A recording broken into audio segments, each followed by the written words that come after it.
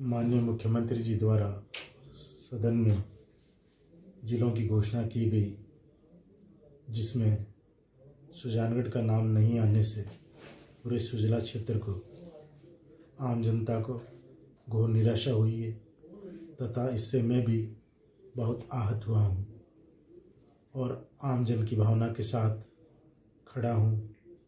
मुख्यमंत्री जी के दिल्ली से जयपुर लौटने पर शीघ्र ही उनसे मुलाकात कर पूरे घटनाक्रम की जानकारी दूँगा, तथा आमजन की भावना से उन्हें अवगत कराऊँगा, तथा उसके बाद सुजानगढ़ क्षेत्र की जनता की भावना के अनुरूप शीघ्र ही निर्णय करूँगा, और इसके लिए मुझे कुछ भी कदम उठाने पड़े तो मैं तैयार रहूँगा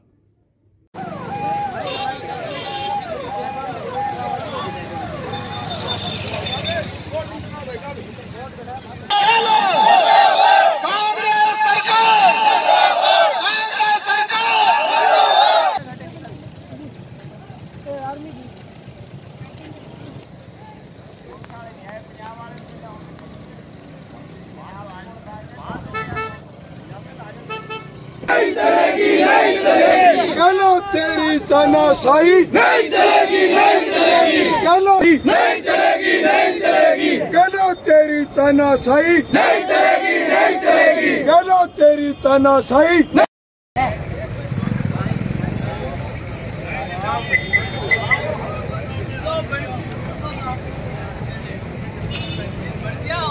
वहाँ हमारे साथ?